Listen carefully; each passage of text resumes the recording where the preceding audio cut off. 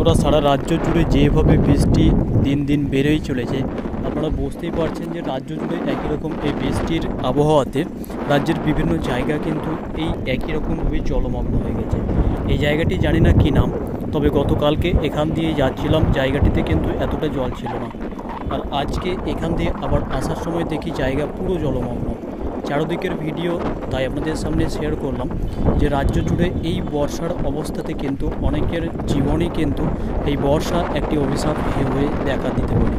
তাই দয়া করে আপনারা বাড়িতে থাকলেও সাবধানে থাকবেন। আর যেইভাবে বর্ষা হচ্ছে, এই বর্ষায় অবস্থাতে কিন্তু রাজ্য জুড়ে নাজেহাল অবস্থা নামতে চলেছে আপনারা বুঝতেই পারছেন। তবে কিছু করার নেই, যেহেতু এটা সম্পূর্ণই আবহাওয়ার ব্যাপার।